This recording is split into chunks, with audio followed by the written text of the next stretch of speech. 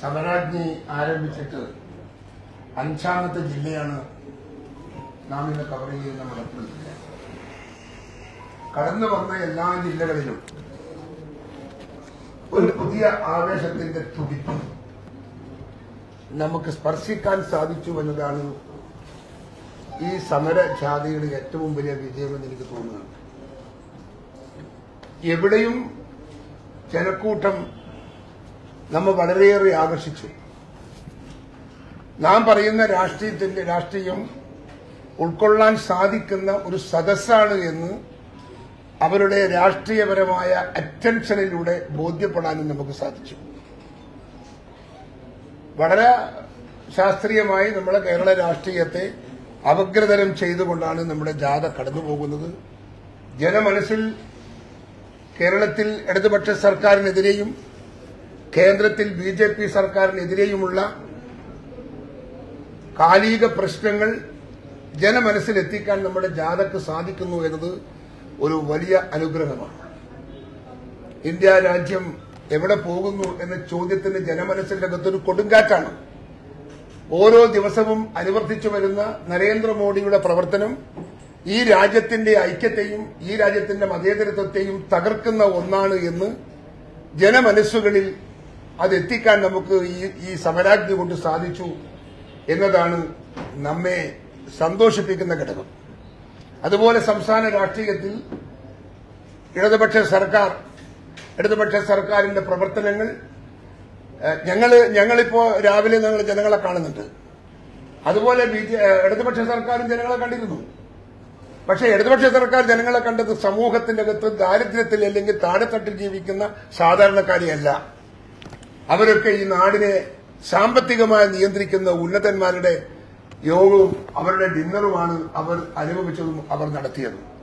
അതുകൊണ്ട് തന്നെ പാവപ്പെട്ടവന്റെ പ്രശ്നങ്ങൾ എന്താണെന്ന് ഉൾക്കൊള്ളാൻ മുഖ്യമന്ത്രിക്ക് ഒരു അവസരം ഉണ്ടായിട്ടില്ല അവരുടെ ജാതിയിൽ. നമുക്കതിന് അവസരമുണ്ടായി.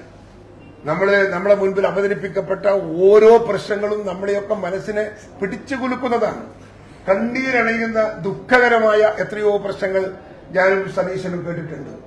പ്രതികരിക്കാൻ പോലും നമുക്ക് സാധിക്കാത്ത ദുരവസ്ഥ നമ്മുടെ മനസ്സിനെ ഏറെ ആകുലപ്പെടുത്തിയിട്ടുണ്ട്. പക്ഷേ ഒരു ഇത് ചെയ്തു തീർക്കാൻ ഒരുപക്ഷെ ഇന്ന് നമുക്ക് സാധിച്ചു എന്ന് വരില്ല. ഐക്യജനാധിപത്യ മുന്നണിയുടെ ഗവൺമെന്റ് വന്നാൽ തീർക്കാവുന്ന തീർക്കേണ്ടുന്ന ഒരുപാട് പ്രശ്നങ്ങൾ ഈ ചർച്ചയിലൂടെ നമുക്ക് നമ്മുടെ കയ്യിൽ ലഭ്യമായിട്ടുണ്ട് എന്നതാണ് യാഥാർത്ഥ്യം. അതുകൊണ്ട് നമ്മെ സംബന്ധിച്ചിടത്തോളം രാഷ്ട്രീയമായി ഈ സമരാഗ്നി ഒരു വലിയ അഗ്നിജ്വാല തന്നെയാണ്.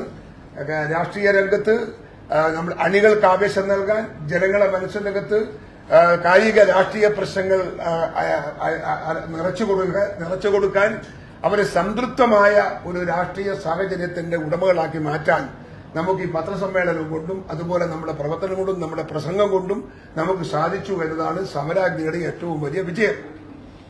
ഇനിയിപ്പോ ഇന്ന് ഇന്ന് പിന്നെ ഇവിടെ ഇത് കഴിഞ്ഞാൽ പിന്നെ ജന പിന്നെ ജനപ്രതിനിധികളുടെ ചർച്ചയാണ്. അത് കഴിഞ്ഞാൽ രണ്ട് നിയോജക മണ്ഡലങ്ങളിൽ രണ്ട് രണ്ട് സംഭവങ്ങളിൽ ഞങ്ങൾ പങ്കെടുക്കുന്നുണ്ട്.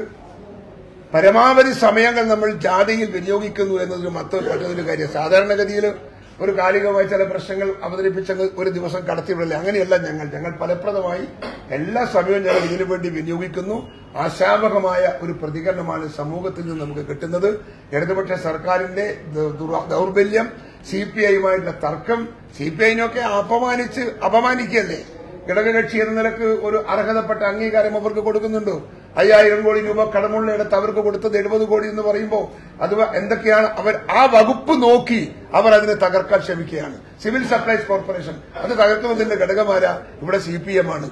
സി പി ഐയുടെ മന്ത്രിയാണ്. അവർ അവർ എന്ത് പേഞ്ഞാലും അവർക്കതിന് ഒരു ന്യാ- ന്യായീകരണമില്ല. അല്ലെങ്കിൽ അതിന് പ്രതിഫലമില്ല അല്ലെങ്കിൽ പരിഹാരമില്ല എന്ന നിലയിലേക്ക് പോവുക. മന്ത്രിയുടെ ഭാര്യ വരെ ഈ ഇടതുപക്ഷ സർക്കാരിനെതിരെ പ്രതികരിക്കേണ്ടി വന്ന് വന്നു എന്ന് വന്നാൽ നമ്മുടെ നാട് എവിടെയെന്ന് നമ്മൾ സ്വയം ആലോചിക്കുക.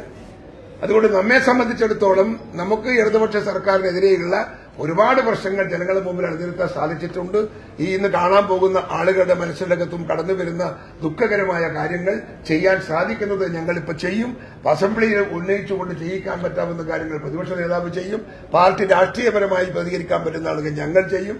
അതല്ലാത്ത പ്രശ്നങ്ങൾ യു ഡി എഫ് സർക്കാരിന്റെ അധികാര അധികാരം യു ഡി എഫ് സർക്കാരിന്റെ കയ്യിലെത്തിയാൽ മാറ്റിയിടുന്ന അടിസ്ഥാനപരമായ ബേസിക്കായ കുറെ പ്രശ്നങ്ങളുണ്ട്. ആ പ്രശ്നങ്ങൾ നമ്മൾ സർക്കാർ നമുക്ക് അനുകൂലമായി വന്നാൽ നമ്മൾ ചെയ്യും അവർക്ക് വേണ്ടി എന്നുള്ളത് ഒരു യാഥാർത്ഥ്യമാണ്. അതുകൊണ്ട് ജനങ്ങളോട് നമ്മൾ കേൾക്കുന്ന അവരുടെ ഭാഗത്തുനിന്ന് കേൾക്കുന്ന ഈ പരാതികളോട് ഞങ്ങൾ നീതി പുലർത്തി പ്രവർത്തിക്കുമെന്ന കാര്യത്തിൽ ഒരു തർക്കവും വേണ്ട. നൂറ് ശതമാനം സത്യസന്ധമായി നമ്മൾ അതിനോട് നീതി പുലർത്തുമെന്നാണ് എനിക്ക് പറയാനുള്ളത്.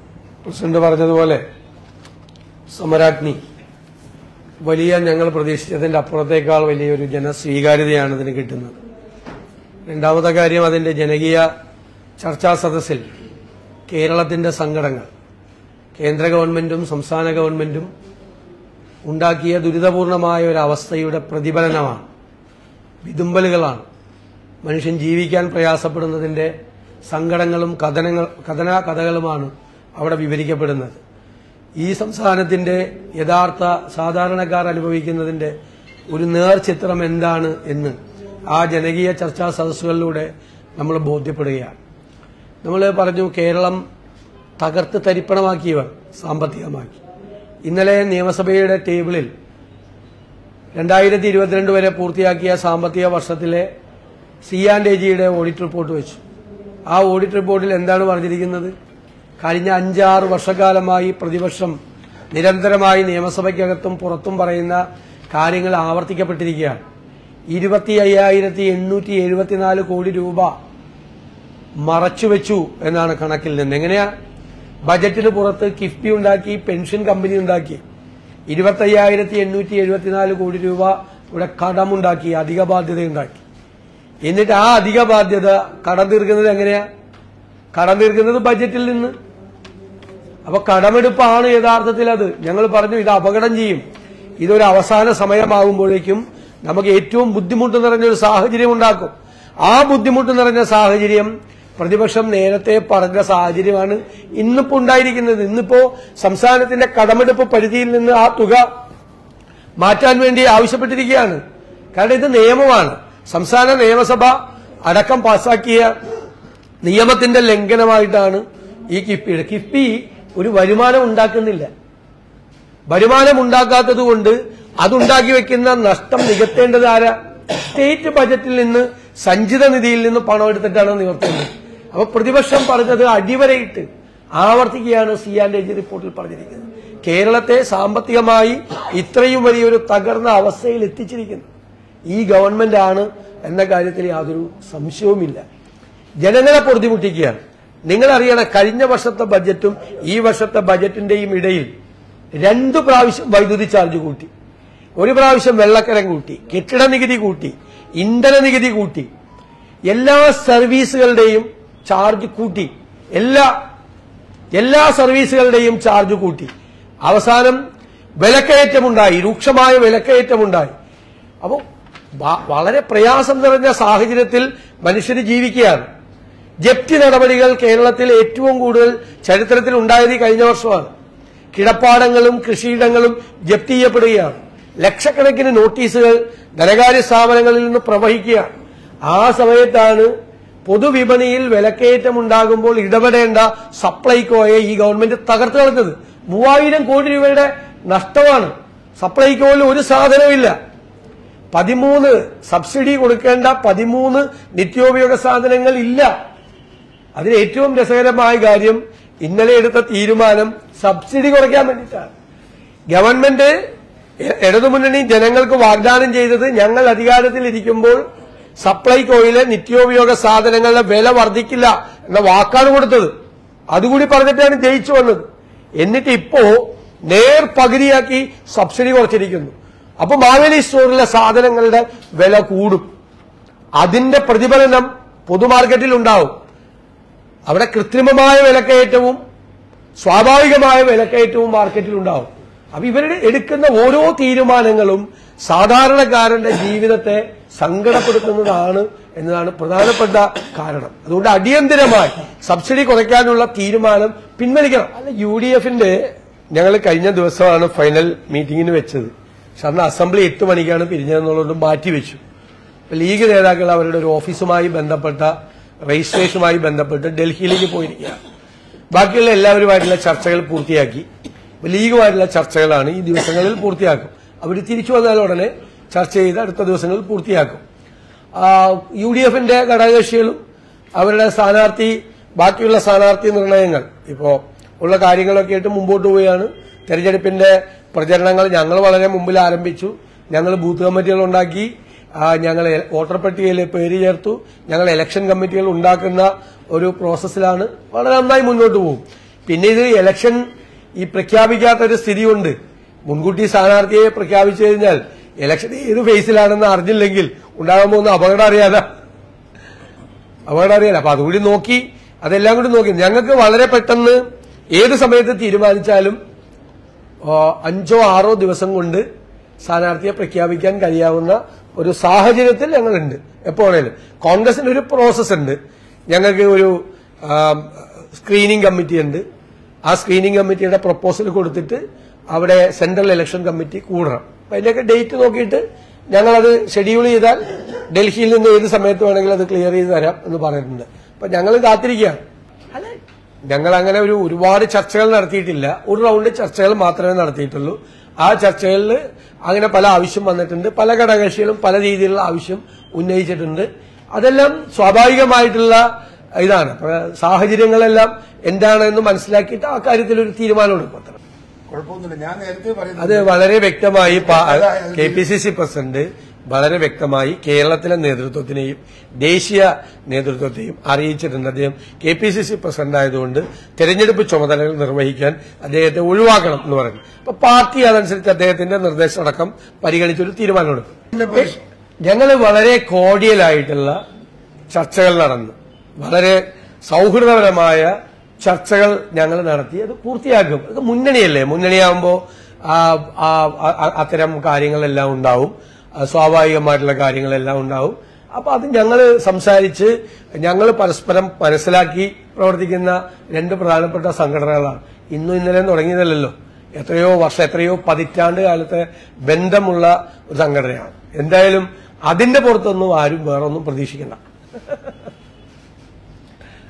നിങ്ങളോട് സ്വകാര്യം പറഞ്ഞിട്ടുണ്ടോ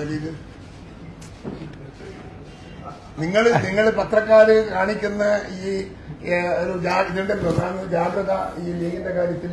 അങ്ങനെ പ്രശ്നം നമ്മൾ തമ്മിലില്ല. എത്ര തവണ നിങ്ങളുടെയൊക്കെ പറഞ്ഞു? ഞങ്ങൾ തമ്മിൽ അങ്ങനെ ഒരു പ്രശ്നം വലിയ പ്രശ്നങ്ങളൊന്നും നമ്മൾ തമ്മിലില്ല. ഇനി ഉണ്ടെങ്കിൽ തന്നെ ഇത് തീർക്കാൻ കോൺഗ്രസും മുസ്ലിം ലീഗും തമ്മിൽ ഇന്ന് വരെ ഇളഞ്ഞിട്ട് ഒരു പ്രശ്നത്തിന്റെ അകത്ത് നമ്മൾ തെറ്റിദ്ധരിച്ച് തെറ്റുമാറിയിട്ടില്ലല്ലോ. നമ്മളെല്ലാ പ്രശ്നങ്ങളും തീർത്തിട്ടുണ്ട്. വളരെ സൗഹാർദ്ദപരമായ രാഷ്ട്രീയ അന്തരീക്ഷത്തിലാണ് യു ഡി എഫ് പോയിക്കൊണ്ടിരിക്കുന്നത്. ഇടതുപക്ഷം പോലെയൊന്നുമല്ല. ഇടതുപക്ഷം സി പി ഐ അല്ലെങ്കിൽ മറ്റു രാഷ്ട്രീയ പ്രസ്ഥാനങ്ങളും ഇടതുപക്ഷം തമ്മിലുള്ള തർക്കം പോലെയൊന്നും യു ഡി എഫിന് ഇത് തർക്കങ്ങളില്ല. ഞങ്ങൾ വളരെ ഐക്യത്തോടെ നല്ല ആത്മ സംതൃപ്തിയോടെ ആത്മസംയമനത്തോടെ പോകുന്ന ഒരു മുന്നണിയാണ്. അതുകൊണ്ട് ഇല്ലാത്ത പ്രശ്നം നിങ്ങൾ കുത്തിപ്പൊക്കി പ്രശ്നം ഉണ്ടാക്കാതിരുന്നാൽ നിങ്ങൾക്ക് നിങ്ങൾക്ക് നന്ദി. ശരി അപ്പൊ വേറെ ഒന്നുമില്ല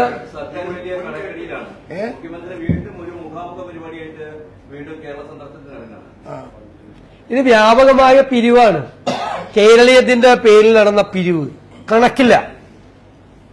ഈ നവകേരള സദസ്സിന് വേണ്ടി നടന്ന പിരിവ്. ചോദ്യം ഞങ്ങൾ നിയമസഭയിൽ ചോദിച്ചപ്പോ ഇതെല്ലാം ഒരു സ്വതന്ത്ര ബോഡിയാണ് പൈസയുടെ കാര്യങ്ങൾ കൈകാര്യം ചെയ്യുന്നത്. ആ സ്വതന്ത്ര ബോഡി ആരാണെന്ന് ഇതുവരെ മനസ്സിലായിട്ടില്ല. വ്യാപകമായി ഉദ്യോഗസ്ഥരെ വെച്ച് കള്ളപ്പിരിവാണ് നടക്കുന്നത്. വ്യാജ പിരിവാണ്. അപ്പൊ രാഷ്ട്രീയ പ്രചരണം നടത്താൻ ഉദ്യോഗസ്ഥന്മാരെ വെച്ച് പിരിവ് നടത്തിയാണ്. ഇപ്പൊ മൂന്നാമത്തെ പരിപാടിയിൽ ഈ പിരിവാണ് നടക്കുന്നത്. ഈ മുഴുവൻ പിരിവ്. ഞങ്ങൾ അന്നേ ആരോപണം ഉന്നയിച്ചു. ജി എസ് സിയിലെ അഡീഷണൽ കമ്മീഷണർ ഇന്റലിജൻസ്. അയാളുടെ ജോലി എന്താ? അയാളുടെ ജോലി നികുതി വെട്ടിപ്പ് തടയലാണ്. അയാളാണ് ഏറ്റവും കൂടുതൽ പൈസ പിരിച്ചതിന് മുഖ്യമന്ത്രി സമ്മാനം കൊടുക്കുന്നത്. അയാൾ പൈസ പിരിക്കാൻ പോയ നികുതി വെട്ടിപ്പ് വർദ്ധിക്കില്ലേ?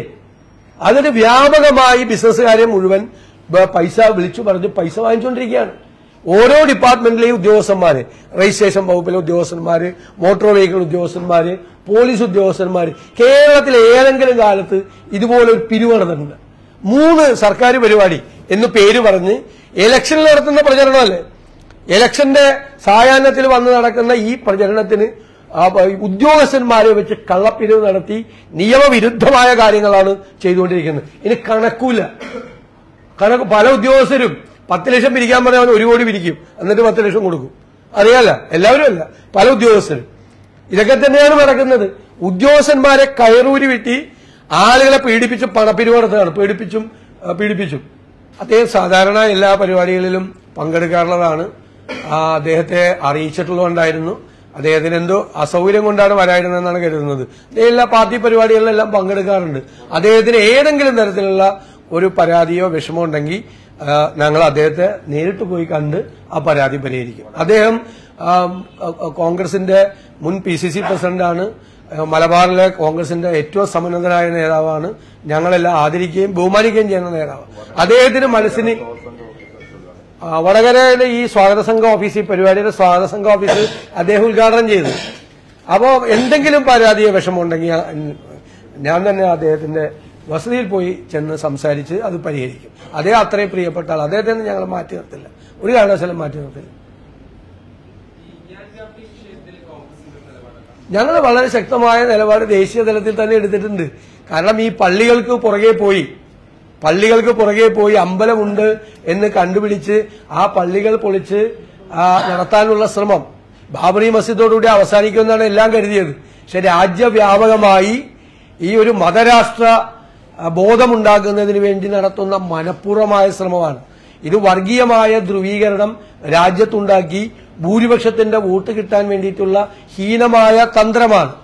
അപ്പോ പള്ളികൾ തേടി എന്നിട്ട് അത് പൊളിച്ച് അതിനൊരു ചരിത്രമുണ്ട് എന്ന് അവകാശപ്പെട്ട് ഇപ്പൊ കേരളത്തിലും തുടങ്ങിയല്ലോ. തൃശൂരിൽ ക്രിസ്ത്യൻ പള്ളി പഴയ അമ്പലമായിരുന്നു എന്ന് പറഞ്ഞ് ഹിന്ദു ഐക്യവേദിയുടെ നേതാക്കൾ ഇറങ്ങിയിട്ടുണ്ട്. അപ്പൊ ഇതെല്ലാം ന്യൂനപക്ഷങ്ങൾക്ക് നേരെ നടക്കുന്ന ക്രൂരമായ ഹീനമായ ആക്രമണങ്ങളാണ്. കോൺഗ്രസ് അതിനെ പ്രതിരോധിക്കും. ഒരു സംശയവും വേണ്ട. അത് ഇത് ഒരു- സെക്കൻഡും കൂടി. ഇത് നടത്തുന്നത് ആര് എന്നുള്ളതാണ് ഏറ്റവും വലിയ പ്രധാനമായ പ്രശ്നം. ഇന്ത്യ ഭരിക്കുന്ന ഇന്ത്യയുടെ പ്രധാനമന്ത്രിയാണ് ഈ മതപരമായ വികാരം കുത്തിയിളക്കി.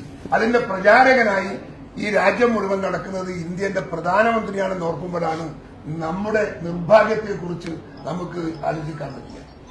ഇത്രയും വലിയൊരു മതേതരത്വം ഉണ്ടാക്കിയ ഒരു രാജ്യത്ത് അതിനെ തകർക്കാൻ വേണ്ടി മതാധിഷ്ഠിത രാജ്യമാക്കി മാറ്റാൻ ഒരു പ്രധാനമന്ത്രി ശ്രമിക്കുന്നു എന്ന് പറയുമ്പോൾ ഈ രാജ്യം എങ്ങോട്ട് പോകുന്നു എന്നതിനെ കുറിച്ച് മാധ്യമങ്ങളൊക്കെ വളരെ നിങ്ങളത് നിങ്ങളത് വളരെ കെയർ എടുക്കേണ്ട വിഷയമാണ്. ജന മനസ്സിലേക്ക് എത്തിക്കേണ്ട വിഷയമാണിത്. ഒരു പ്രധാനമന്ത്രി അവിടെ ഇവിടെയും പോയി പ്രസംഗിക്കുകയാണ്. അവിടെ പള്ളി അവിടെ അമ്പലമുണ്ട്. ഇവിടെ അമ്പലം ഉണ്ടാക്കണം ലോകം മുഴുവൻ അമ്പലം ഉണ്ടാക്കാൻ പോവാണ് പുള്ളി. എന്ത് പ്രധാനമന്ത്രിയാണിത്? എന്ത് മതേതരത്താണ് ഇവിടെ? ഏത് മതേതരത്വത്തിന്റെ കാവൽ പഠന ഈ പ്രധാനമന്ത്രി? ആലോചിക്കണ്ടേ.